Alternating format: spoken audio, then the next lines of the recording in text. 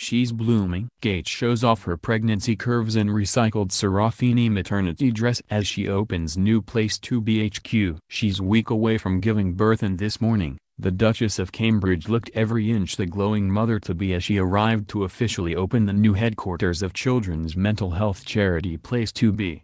Kate, 36, recycled a 165 pounds Marlene maternity dress by Seraphine for the visit, just weeks after she wore it to lunch with the Norwegian royals at the palace in Oslo.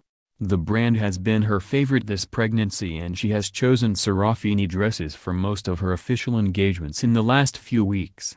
The Duchess gave a speech at the opening, saying, This new center of excellence is so crucial, not only for Place2Be to continue their outstanding work, but for all the school leaders, teachers and children it helps now, and undoubtedly will help in the future years to come. This center of excellence is a new, and significant, step to helping those who will raise the next generation of mentally healthy children. Speaking with children from Albion Primary School in Rotherhithe, who have worked with Place2Be for 16 years, Kate asked them, What do you think about it?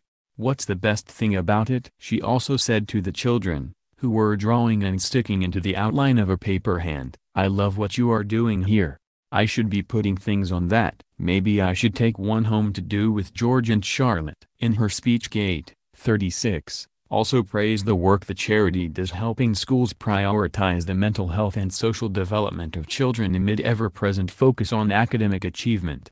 Kate became patron of Place2Be in 2013. The charity is the UK's leading children's mental health charity and works with primary and secondary schools to help improve children's mental health.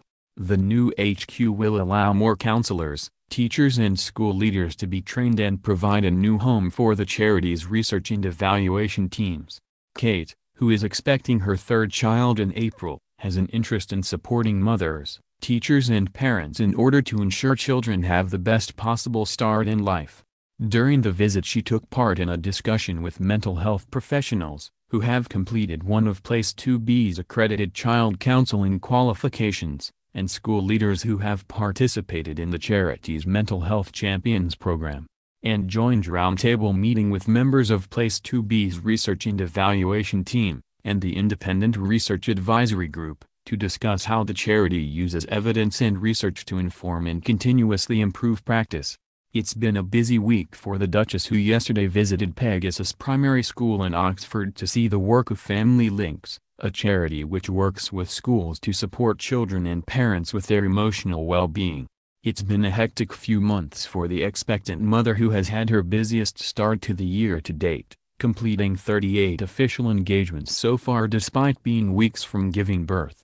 Kate, who is more than seven months pregnant, has had a whirlwind calendar so far, including a jam-packed overseas tour to Sweden and Norway. During the same period in 2016, Kate had completed seven official engagements, according to the Royal Court Circular. The Duchess had a busier diary in 2015, when she was pregnant with Princess Charlotte, completing 13 official engagements. In the past, she and Prince William have been accused of not pulling their weight, with the couple often completing fewer engagements than older members of the royal family over the course of a year. Experts say the recent influx of engagements may be due to Kate wanting to help Meghan with her first steps into royal life, as well as the Duchess preparing to take time off after the birth of her third child.